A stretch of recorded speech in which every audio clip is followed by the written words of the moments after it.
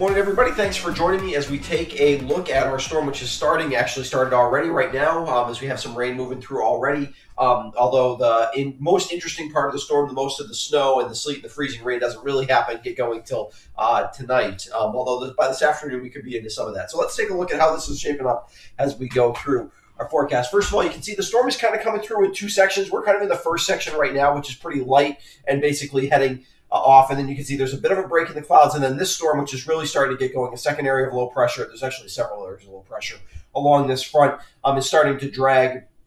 Uh, is pushing, pulling a lot more moisture up, and this is really going to be where the heavy precipitation is. And but still, this front, which is a little hard to pick up on satellite, but we'll show it to you uh, in a second on the radar, um, is moving eastward, and it's going to settle kind of during the heaviest portion of precipitation right across southern Vermont. Of course, I'm making the forecast really complicated for us but um, uh, also uh, giving us a chance at some of the more uh, high impact issues with sleet and freezing rain, particularly, um, although snow for the northern areas here in southern Vermont. So, uh, as you can see right now, temperatures um, cold to our west. We do have some cold air, which is sinking in. You can kind of see it a little bit on radar. As you can see, the radar echoes, uh, the radar wants to interpret these echoes going from rain to snow in places in western New York and even out of northern New York. And this is starting to move through.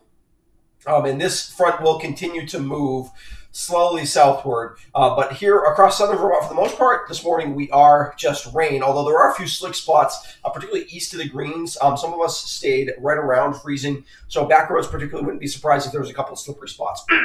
I had about 33 degrees in my house this morning, so close enough to be cautious if you're out there. Main roads, I'm sure, are just wet. But Be cautious on those on those back roads this morning.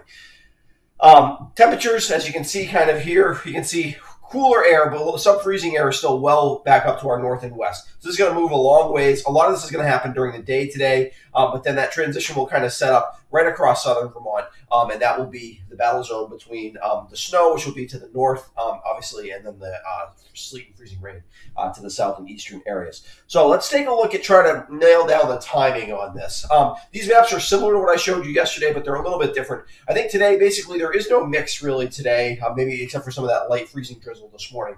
But I think um, basically snow, and this will be in the light form at 4, that should say 4 p.m. this afternoon. Sorry about that. Um, snow in Rutland and uh, most of northern Windsor County, and then rain basically for all I think of uh, uh, Bennington and Win and Windham counties, um, and even up into places like I think Weston is still rain most of this afternoon. Um, even to a place like Cavendish and up, uh, even to a place like Windsor, I think is probably rain through this afternoon. Uh, but then overnight, things get interesting. Um, all this precipitation, basically in a line similar to where it was rain before, changes. The snow kind of stays where it is, but the cold air drags down at the surface first. Um, and this is when the heavy precipitation is happening Thursday night. Really, it's Friday. It's you know 1 a.m. Friday morning. But uh, where we see, and I think most of us go to sleep for the most part um, at the higher elevations and also kind of in the northern part of this. But the valley locations, Route 7 corridor, certainly down in Bennington, maybe all the way up to Manchester, um, and then uh, certainly the Brattleboro area. Um, Dummerston, and then up to uh, as far as Bellows Falls, I think freezing rain could be a particular problem. Um, and those are the spots that need to worry the most about power. Um, everybody's going to be terrible travel. Sleet's terrible to travel on. The snow, it's going to be enough snow that it'll be tough. Uh, freezing rain's terrible to travel on, obviously, as well. So all these ish areas will have lots of issues. Um, by Friday morning, that has crashed down so that we're just seeing a little bit of sleet mix in at the very southern border of Vermont. Um, and that's where the accumulating snow is going to happen for most of southern uh, Bennington and Windsor, oh, sorry, Windham counties. um, and that's where these areas, which are going to get less snow because a lot of sleet's going to mix in, but they will get their snow accumulation basically uh, Friday morning. Um, and light snow could, Friday morning, uh, moderate snow probably lingers through about 8, 9 o'clock, 10 o'clock in the morning. Uh, and then it's light snow could linger almost throughout the rest of the day. Most of the accumulation is done, I think, by noon on Friday, though. Everything else is just sort of in the air. So let's look a look, take a look at air and location by location snowfall forecasts, dominant precipitation types. So hopefully this gives you an idea town by town of roughly what you're looking at. So you're up in Brandon, you're all snow basically. Once you change over this morning, you probably change over by this afternoon. You're looking at about a foot of snow, 11 to 13 inches. Rutland, same kind of thing. Uh, I think you're looking at 12 to 14 inches, a little bit more more in the way of liquid equivalent in Rutland, but basically all snow, I think, by this afternoon. Poultney, same thing, 11 to 13 inches of snow. Dorset, a lot more sleet mixed in in Dorset. Um, so I think seven to nine inches, and that's a heavy to seven to nine inches, particularly the first three or four inches of that is going to be a lot of sleet and a little bit of snow. Shaftsbury, um, sleet and freezing rain, four to five inches. And then a place like Bennington, a lot of freezing rain is your dominant precipitation type before you get three to four inches of snow, I think, on the back end of the storm in Bennington. Bennington would be a spot I'd be a little worried about um, issues with uh, power outages. Along the spine of the Green Mountains. If you're in Rochester, Plymouth, all snow 13 to 15 inches. Weston, snow and sleet. Seven to nine inches. Again, once that snow gets going, um, Weston's one of those towns that could definitely this number could go up or down. If it's more sleet, this could be as low as five or six. If it's mostly snow in Weston, you could be 13, 14 inches of snow.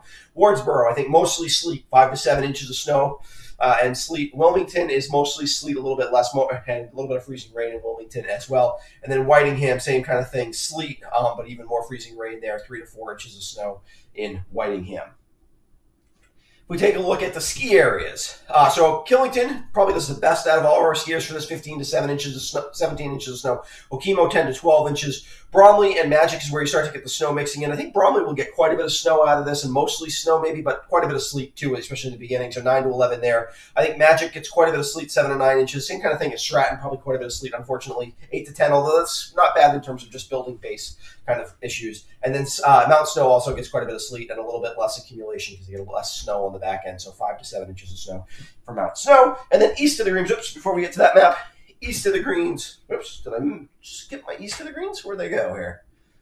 Sorry about that. East of the Greens, Norwich, mostly snow for 10 to 12 inches. Reading, snow and some sleet, 8 to 10 inches. Springfield is a lot of sleet, 5 to 7. Grafton, sleet, 3 to 5. Halifax, a lot of freezing rain, only 2 to 3 inches of snow there. I'd be worried about power if I lived in Halifax. Brattleboro, same kind of thing, freezing rain, 2 to 3 inches. I'd be worried about power if I lived in Brattleboro. Uh, so let's go to power outage threat. This map has not changed. I think basically the same places. The main issues are really in uh, Route 7 corridor, particularly southern Route 7 corridor, um, down to the uh, Massachusetts border, and along the Connecticut River, particularly in the Brattleboro area, up to about Bellows Falls. I think that's your most significant threat of power outages. In terms of snow totals, this map has changed a little bit, but not much. 10 to 16 inches in the pink, uh, 6 to 10 inches in a stripe. This got a lot of sleet in it, and a lot of sleet in the northern part of the green, and some freezing rain and mixed in in the green section as well with 3 to 6. And then just 2 to 4 here as we change pretty late uh, in southeastern uh, Windham County. All right? Uh, so that basically uh, lets you know what's going on. I'll be back tonight. I'll post uh, a comment in all my uh, on all my descriptions telling you where I'm going to be in terms of for a, a live uh, discussion of what's going on. I think I'm going to do that at 7:30, but uh, timing's not 100%, so I will definitely let you know, and I'll provide the link so that you can check my live feed. Those tend to be longer; they're about a half an hour, give you a chance to ask some questions. Otherwise, I want to thank you, uh, encourage you to subscribe to my YouTube channel if you haven't before. That'll help uh, make sure that you don't miss any of my videos. And also, a uh, big shout out to my patrons who have helped support what I do here, and thank them for what they do. And uh, also, just encourage you if you're interested in becoming a patron. There's some benefits to that, and also it's just hugely helpful to the channel. So, um, if you would, if you want want, you can take a look at the link there, and it gives you uh, some options for how you can become a patron.